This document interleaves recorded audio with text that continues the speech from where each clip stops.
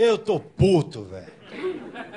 Que inferno, mano. Juro, eu tô revoltado com essa merda desse país que a gente vive, mano. Esse goleiro aí do caralho, solto.